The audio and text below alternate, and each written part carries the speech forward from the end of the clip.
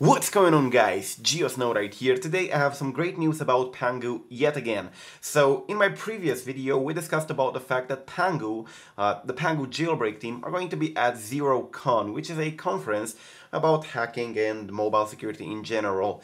But we also discussed about the fact that they are apparently not dead. Well, not dead in that term, but they didn't uh, left the jailbreak community because you probably know Pangu hasn't been active in over a year, and the last jailbreak we've got for them uh, from them was for iOS 9.3.3, and we never heard anything about them after that.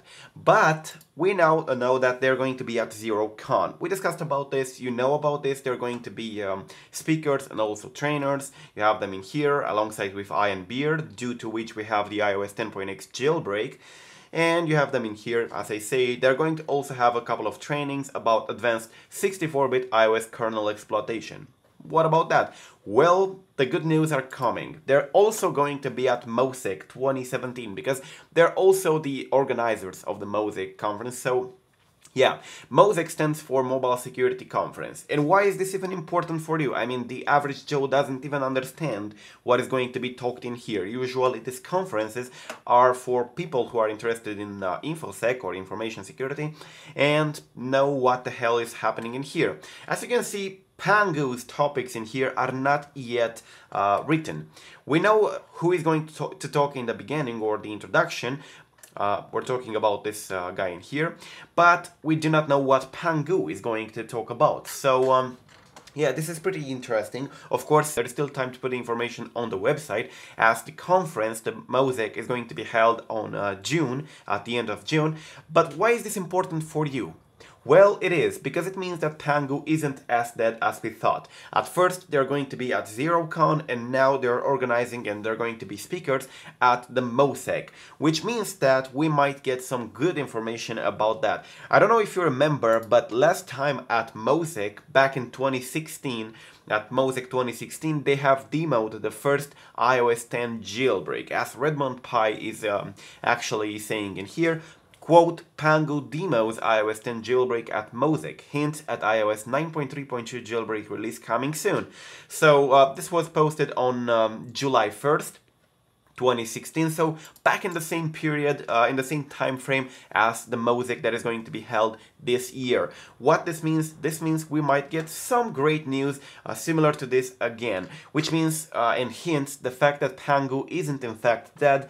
They are just in their in their normal stealth mode. Probably you know compared to Luca Todesco or other jailbreakers Pangu isn't really that active in the social media. Their Twitter is not that active. They don't actually post about anything else like uh, Luca Todesco does and I don't I don't say that Luca Todesco does something bad with the fact that he is active socially but Pangu is in that you know hidden mode. Uh, you never know what when they're going to release anything. You never know what they're going to release and this helps them to prevent Apple from patching bugs very easy and so on. Of course this means that the uh, jailbreak that they create is usually targeted to a smaller amount of people because a lot of people update. But yeah this is the uh, problem. As I always say stay on the on the uh, smallest version possible. If you're on iOS 10.2 stay on iOS 10.2 if you're on iOS 10.2.1 and you did update it from 10.2 then do not update to 10.3 or 10.3.1 the more you update the, the less chances you have to jailbreak. So this is actually the important things guys. They're going to be speakers at MOSEC as well which means again they're going to be active again in this field and being a mobile security conference I expect something about either jailbreaking or something related iOS exploits, kernel exploits or kernel exploitation and so on to um, um, if you want to, to take a look at this video in which I talked about ZeroCon, at ZeroCon they're going to talk, as I said, about uh, exploiting the 64-bit iOS kernel. So Again, something important for the jailbreaking. I think the future looks bright for the jailbreaking because Pangu is back in the business, if you ask me.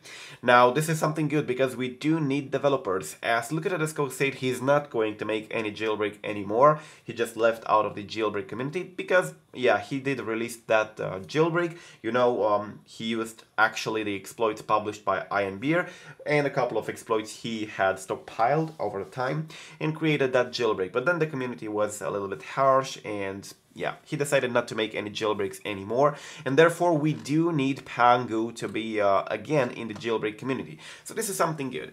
Again guys, if you want to follow up for more information, go ahead on Twitter, follow me if you didn't already, and I'm usually posting about jailbreaking, about uh, things related, so you might like the videos and you might like the uh, tweets I post, and you might stay in, uh, in touch with them.